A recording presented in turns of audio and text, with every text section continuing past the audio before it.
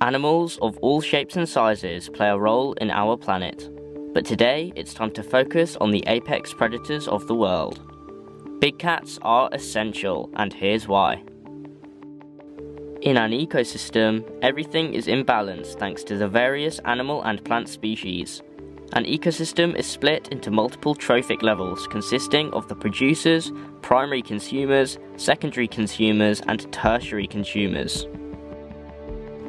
Big cats are tertiary consumers, which means that they are at the top of their food chain. They are apex predators that prey on a variety of species. Big cats play a vital role in ecosystems. Due to big cats hunting and eating their prey, the prey's population is kept at a steady level.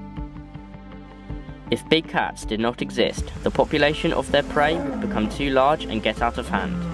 If there are too many prey animals, the food that they eat, such as plants, will become scarce and be at risk of running out.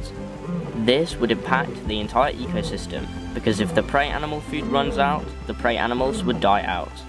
So you see, big cats maintain entire ecosystems by managing the population of prey. They are essential to keeping this planet safe. For example, jaguars are apex predators that inhabit South America. They hunt species such as tapir and capybara. If the jaguars were not around, the tapir and capybara populations would increase largely, which means that more plants and fruits would be eaten and amounts would be running low. With their food running low, large amounts of the tapir and capybara population would die out. Jaguars are essential to this ecosystem. This example occurs with all the other big cats as well and that is why big cats are so essential. I really hope that you have enjoyed this video. Thank you for watching.